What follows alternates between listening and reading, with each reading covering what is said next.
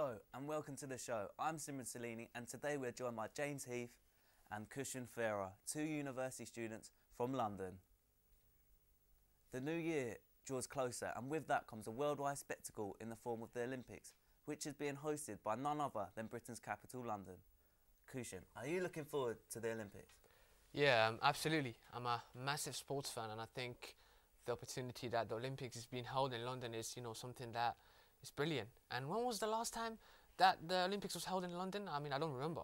It was 1948, long ago. Yeah, that was just three years after the Second World War. I mean, that's more than 60 years ago. I mean, that's quite astonishing, actually. So I think, yeah, it should be quite great, and I'm looking forward to it. I mean, different athletes, different sports. So yeah, it should be a wonderful occasion. Once in a lifetime, probably Yeah, for us. It yeah, not happen again in London. Definitely will not happen while I'm on this planet, but you know, my grandchildren might, you know, actually participate in the sports or do something like that. If your grandchildren win it, then Yeah, good luck for them. yeah, good luck for them. I don't think they will win it though. Yeah, yeah, should be. Be like 100 metre, making it there. 100 meters, yeah. I, I'm- I was thinking more like the 10,000 me- 10,000 meters. I mean, Ah. yeah, 100 meters not really. I mean, Jamaicans are very great at that. Usain Bolt, yeah. And how, James, do you think it will affect the economy, the Olympics? Uh, definitely, it's going to affect it in a positive way. Um, I mean, they've built the new Westfield shopping centre there, so that's going to obviously bring in a lot of money, both from people just living in London, and then when tourists actually start coming over and shopping there, Yeah. they're going to be buying stuff. And again, um, Tourists are going to be going mad for everything. Yeah, all the little all the London little- ornaments, the little Exactly, snow yeah, globe, like all that. of that. yeah, and then you've got you know all the food and stuff that's going to be on, as part of the Olympic Village and everything like that. So you, we are going to see a big increase in money actually coming in. But then again, I think once the Olympics is actually over, um, you're just going to see it decrease again. And with more Yeah. tourists, what do you reckon about the job rates? Yeah. Like, will the job rates rise? Will the job rates rise? More tourists coming in, it'll be harder to get a job. I think with all the tourists coming in, there's going to be, have to be a lot of people working. Um, you're going to have a lot of people on crowd control and stuff like that, and then obviously manning food and drink and everything like that. So I think job rates are going to rise during the Olympics. Obviously, you're going to get those temporary ones, and then with the Westwood Shopping Centre, there's going to be more permanent positions available. But then again, I think once the Olympics is actually over, um, the people on temporary jobs Yeah. are going to be unemployed again. So Yeah. it's just a temporary solution, really. What's your view, Sid? Yeah, I mean, I agree with what he said. I mean, it's just like temporarily. I mean, then it's back to the old London again. I mean, unemployment will not be solved because of the Olympics. I mean, people might actually get overexcited and that and think, you know, oh, okay, you know, it's the Olympics, everything will be good and all that. But I don't, I don't really buy into that. I think, you know, you have to be realistic and realistically thinking, I think London will be back to the London it is The right boring London life. now. Yeah, the boring What's London life. more to do? yeah, it's only a couple of. How long does the Olympics go on for? A month? It's, it starts on the July the 27th, yeah. 2012, and I think it ends 12th of August.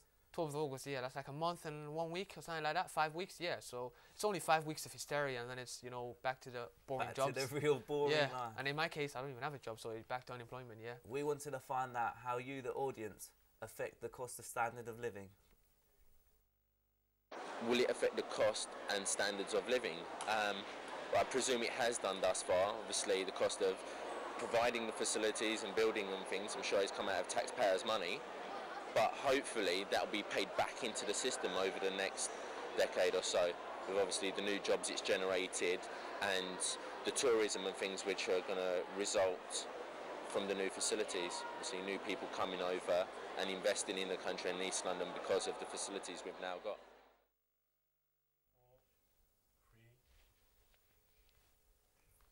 Do you feel that the Olympics will bring more positive ways, like with multiculturalism? Yeah, I think there will be several tourists from different places of you know the planet. I mean, Far East Asia, there will be a lot of Chinese, Japanese kind of tourists who want to explore, and obviously, the, yeah, they want to come to the Olympics. I mean, London is already a great city. I mean, people come here for the monarchy, people come here to see the Big Ben, people come here, you know, the royal London wedding. Eye. London Eye, yeah, and obviously I think we could have a similar to what you know the royal wedding. I mean, we could have the same kind of people, the amount of people, the same kind of interest. I mean, I think TV ratings will go up. People will watch the events from you know different places of the planet. So yeah, I think yeah we should see so many interest, interesting things going on. The Olympics will aid the promotion of multiculturalism through healthy competitions between nations. 270 nationalities make up the fabric of London, making it one of the most multicultural cities in the world. We went out and saw the public your views about being multicultural. multicultural. Oh, it's very multicultural. Like everywhere I go, I see people from everywhere. I, I've met people from practically everywhere. Even in my flat, with there's six of us, and none of us are local. All of us are from around the world. You know, it's, it's interesting. It's really, really, really nice to be in, in a place like that. James, what is your views on illegal immigrants?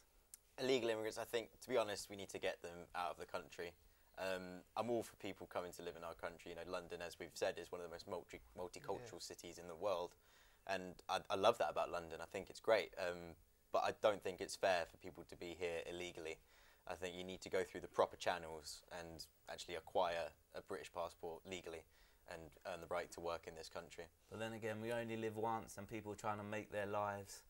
Again, yeah, um, everyone's trying to do the best for themselves, but you know, if if you don't treat everyone fairly, you've got to have some set of rules to govern it. Otherwise, it just ends up everyone going for themselves, and you don't end up with a sense of community or anything like that. So you really need to keep on top of it and bring people in that you know think deserve it, rather than people who don't. Yeah. And your views on this then? Yeah, I mean, I myself, I was a foreigner. You know, I'm a foreigner. You know, I came here from the Netherlands and I moved here. But obviously, I didn't just swim my way through the North North North Sea. You know, I came here the proper way and I got my passport done and all that. Even though people still say I look like an illegal immigrant, but you know, I can't help that. But like, yeah, I mean, the law should be a, more harsher. I mean, all these kind of TV series. I mean, the UK Border Patrol and all that.